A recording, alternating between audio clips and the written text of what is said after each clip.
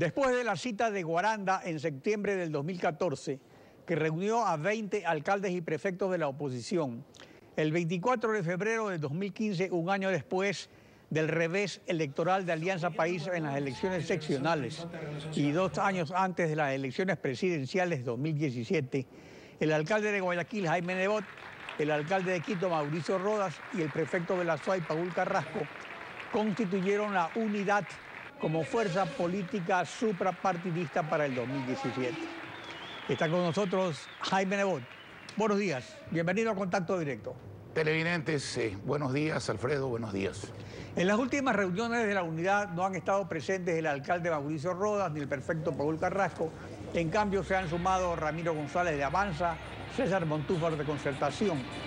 Ha trascendido que Mauricio Rodas y Paul Carrasco estuvieron motivados por una unidad a favor de la candidatura presidencial de Jaime Nebot.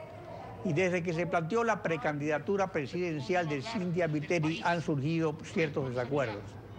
Aún hay espacio para encontrar acuerdos con Mauricio Rodas y Paul Carrasco, que tampoco es que se han ido a otro lado, sino que simplemente han expresado puntos de vista de desacuerdo. Yo pienso que cuando uno quiere emprender en algo, cuando hay que hacer una unidad, una supra unidad, ojalá, en vía del país, no hay que pensar primero en con quién.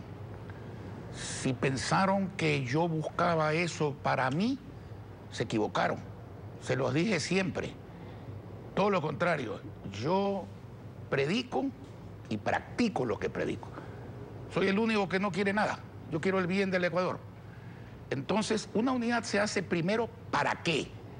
¿Para qué? Para que cambie la situación actual, para que la crisis se convierta en bonanza, para que acabe el desempleo, para que los pobres vivan bien, para que viva una democracia y una libertad verdadera etcétera, etcétera. Luego, uno se pregunta, ¿para quién? ¿Para quién? Para el pueblo, para todos, especialmente para los pobres. Y al final, uno dice, ¿con quién? No es al revés. Yo sigo en eso. Yo sigo en eso. Los que han comprendido eso, seguimos marchando juntos. He oído voces de que hay que ampliar la unidad. Por cierto, yo siempre lo propuse. Eh, el primer portazo que recibimos fue de quien menos yo esperaba, de Guillermo Lazo. No quiero saber nada de los social cristianos. Los social cristianos me han hecho fracasar. No quiero y no voy a tener un entendimiento con ellos. Usted tiene el pendrive respectivo, con el video respectivo, se ha hecho público, ustedes lo hicieron público aquí. En la izquierda, centro izquierda, hay gente muy respetable con quien yo tengo cordiales relaciones, con el general Paco Moncayo, con Enrique Ayala. Ellos tienen otra posición, dicen, no hablemos en primera vuelta, hablemos en segunda vuelta, eso es respetable. Paul es mi amigo, yo no quiero afectarlo con un pronunciamiento mío. Simplemente quiero decirle que eh, debe reflexionar, yo creo que está equivocado, respetando su criterio. Cuando uno fija reglas, las reglas se respetan. Uno no puede decir algo, querer ser vicepresidente de eso y después, cuando no se lo nombra, decir otra cosa. Si usted me permite, yo le voy a dar una fórmula que sirve no solo para hacer esa unidad, que toda gente consciente que quiera que no cambie simplemente el presidente, esto no es personal, que cambie el modo de gobernar, los objetivos, los procedimientos, el resultado para los ecuatorianos que merecemos progreso en libertad, por sintetizarlo en dos palabras, pero que servirá también para ver quién quiere y quién no quiere la unidad. Es una forma muy fácil. Ahí lo importante es partir de ciertos hechos concretos, porque los hechos son los que hablan. Y el jueves pasado la unidad proclamó candidata presidencial a Cintia Viteri, con este llamado que hizo usted, que es líder de la unidad. Veamos. Tener derecho a fortalecer nuestros partidos, sí a creer en nuestra ideología también, pero saber que nuestra obligación es dejar la ideología y los partidos a un lado para fundar ese gran partido que se llama Ecuador, para poder servir a nuestros conciudadanos. Una misión, unir a los ecuatorianos, no desunir, sumar, no restar. Y para eso tenemos que pensar en quién lo puede hacer. Conozco a Cintia Viteri hace más de 20 años. Quien confía en Nebot, que confíe en Viteri, porque lo va a hacer bien, porque es noble, justa, valiente, honesta y preparada. Este firme respaldo a Cintia Viteri parece que no convence, no porque Cintia Viteri carezca de mérito, sino porque políticamente no está sumando a otros grupos. ¿Es negociable la candidatura de Cintia Viteri o se mantendrá siempre? Le dije si me permitía y si me lo permite lo voy a hacer. Yo le voy a dar la fórmula para saber si ese espíritu que embarga al pueblo ecuatoriano en general, no a los políticos, generalmente la mayoría leen los periódicos al revés, como se decía en Chile en alguna ocasión. Tenemos que descubrir si es posible materializarlo. Y si no es posible, tenemos que descubrir por quién no es posible. Mire usted, para seleccionar el candidato de una unidad, no se trata de ver cómo están las encuestas hoy día. Si yo estoy segundo, apenas tres puntos del tercero. No, no, no, no, no se trata de eso. Se trata de tomar, vamos a poner un ejemplo. Tomamos tres candidatos, Paco Moncayo, Guillermo Lazo y Cintia Viteri.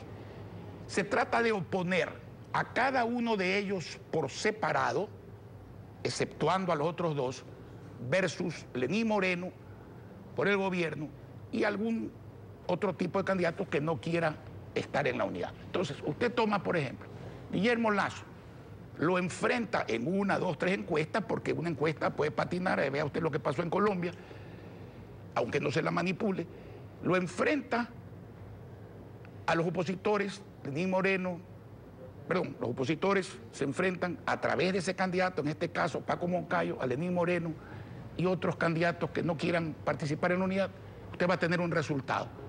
Luego coge usted a Guillermo Lazo, hace exactamente lo mismo. Guillermo Lazo, sin Cintia Viteri, sin Paco Moncayo, lo enfrenta al gobierno y a los otros. Luego coge usted a Cintia Viteri, sola, sin Paco Moncayo, sin Guillermo Lazo, lo enfrenta usted a Lenín Moreno y a los opositores.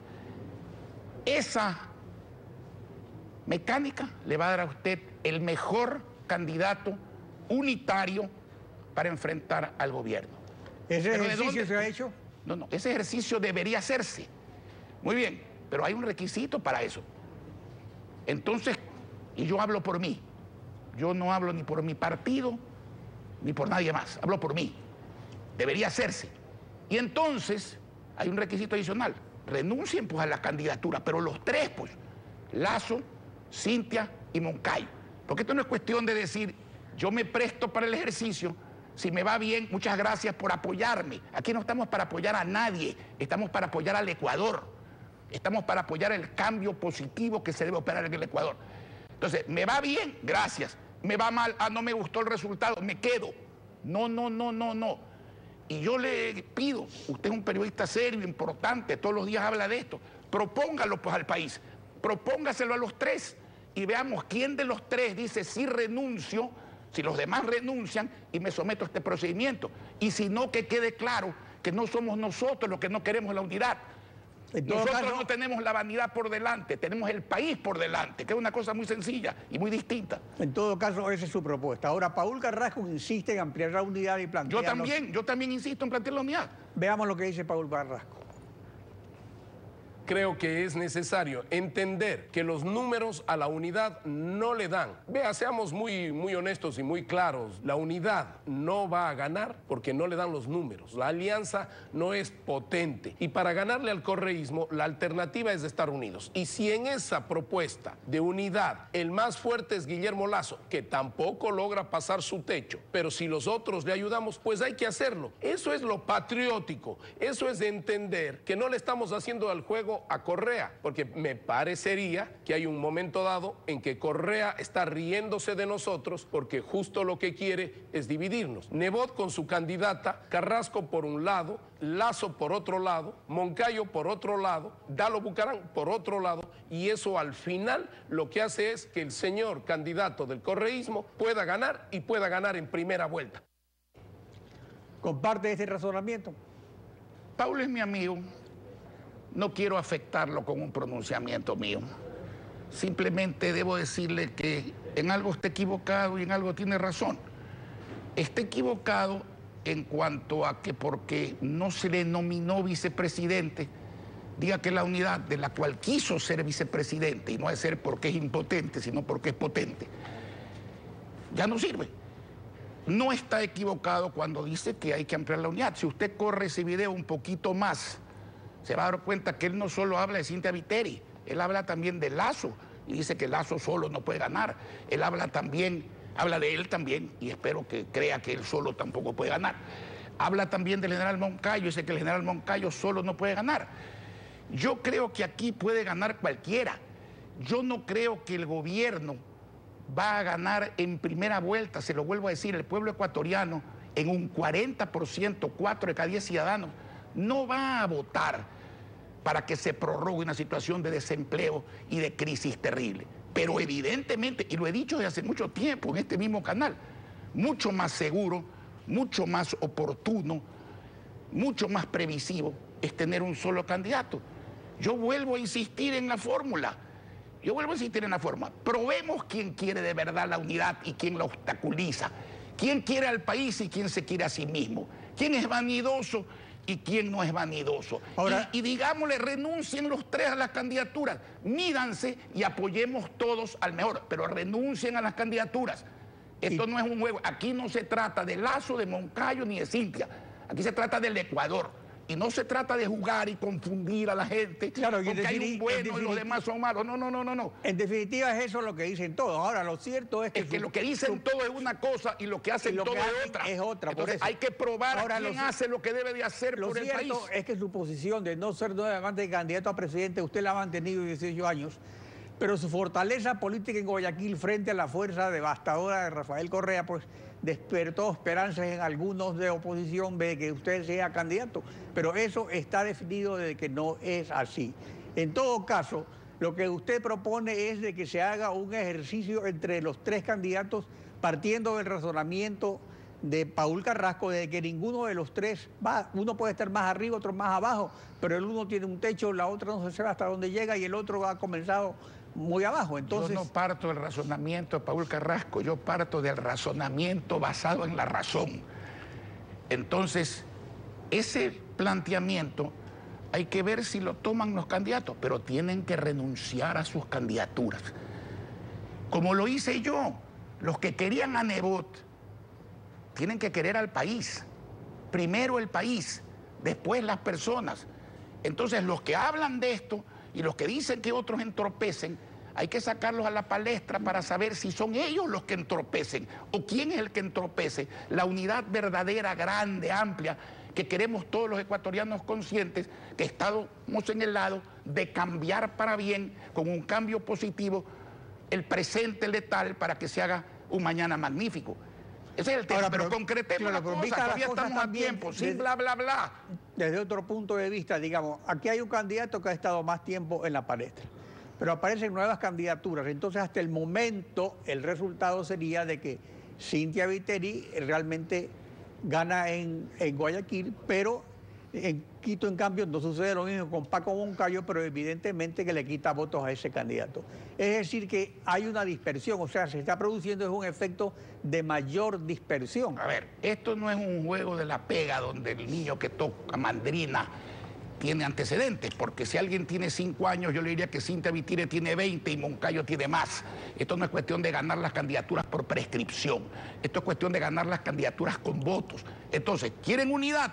Despójense de sus candidaturas, mídanse, uno contra el gobierno y otros que no vayan a la unidad, otro igual, el otro igual, la otra igual, y de esa manera determinemos el candidato, pero partiendo de la renuncia de las candidaturas, no del jueguito de, a ver, mídame, si me va bien, me quedo y acepto y agradezco, y si me va mal, me pongo bravo, me voy y no acepto. El país no merece ese juego de niños por parte de los políticos. El país merece una clase política madura, seria, que piense en el Ecuador. Y si no piensa en el Ecuador, que sea egoísta y piense al menos en su familia, en su ciudad, en sí mismo.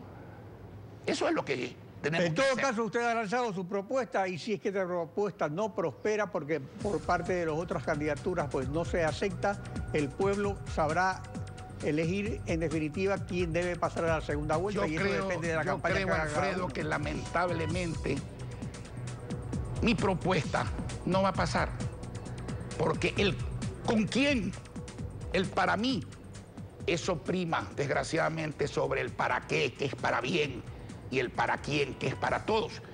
Si pasa eso, en buena hora por los ecuatorianos. Si no pasa eso, nosotros tenemos una candidata seria, firme, valiente, solidaria, con alma, capaz de sacar este país adelante. Y la vamos a apoyar a fondo. Tercera en el país. Y es candidata desde el jueves. Hasta el jueves tenía rivales, no sabía si iba a ser candidata. Ya está segunda en la costa ecuatoriana. Vea usted la encuesta de informe confidencial del día 25 del mes pasado de septiembre. La pelea es peleando, Ecuador por delante, aunque yo lo digo otra vez, usted puso un fragmento de mi discurso, y lo repito aquí, más drásticamente, el sectarismo de los partidos no puede estar por encima del sectarismo del Ecuador. La vanidad de los políticos no puede estar por encima de los intereses del Ecuador. La tiranía de las ideologías no puede estar por encima del bienestar de todos los ecuatorianos. En eso cree Nebot. Jaime Gracias por acompañarnos en contacto directo. Gracias a usted.